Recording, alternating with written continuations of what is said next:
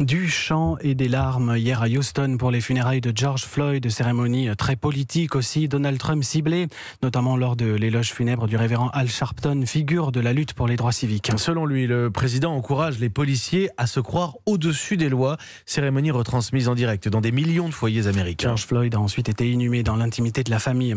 Pendant ce temps, quelques milliers de personnes se rassemblaient en France pour un hommage, mais aussi pour dénoncer le racisme à Mulhouse, Bordeaux, Grenoble, mais également Paris. 2400 personnes dans la capitale selon la police. 12 000 disent les organisateurs. Des manifestations tolérées par les autorités malgré les règles sanitaires. Bonjour Mickaël Darmon. Bonjour. On ne poursuivra pas les manifestants parce que l'émotion est plus forte que les normes juridiques. Les mots hier de Christophe Castaner, des propos pour vous hallucinants.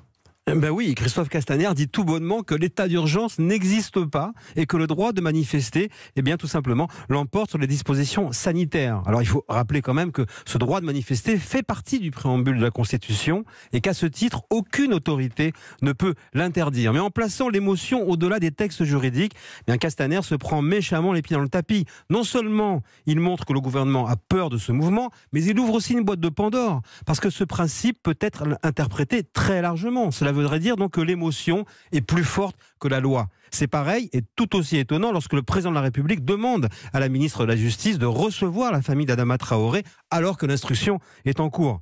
Bref, il faut se méfier de l'émotion qui, au fil de l'histoire politique, ne se montre pas bonne conseillère. Michael Darmon, le fait politique tous les jours dans la matinale d'Europe 1. Et d'ailleurs, l'exécutif va mettre fin à l'état d'urgence sanitaire après le 10 juillet.